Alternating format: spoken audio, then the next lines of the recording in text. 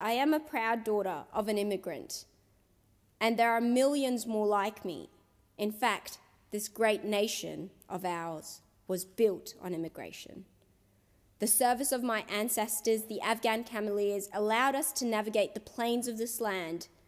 They were pioneers, and I too will be a pioneer and walk in their footsteps to serve our nation as they did.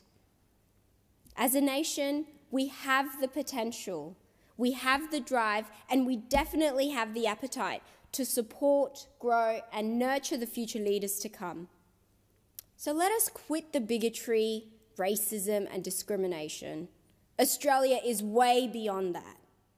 Let us not settle on multiculturalism being just a brand we associate with or take pride in as a nation, but rather fully embrace it by caring for one another, by accepting each other for who we are and what we can become, and by ensuring all voices are heard at the table. It is time to love, care, and respect one another.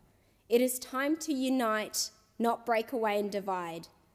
It is time to use our diversity as our strength and seek wisdom in our differences.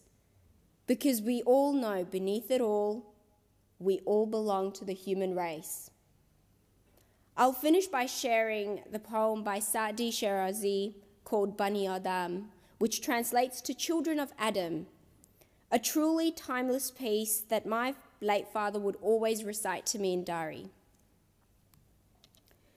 بنی آدم از های یک digaran, که در آفرینش ز یک گوهرن چو عضوی به درد آورد روزگار دیگر عضوها را نماند قرار تو که از مهنت دیگران به غمی نشاید که نامت نهند آدمی which translates to human beings are members of a whole in creation of one essence and soul if one member is afflicted with pain other members uneasy will remain if you have no sympathy for human pain the name of human you cannot retain i thank the senate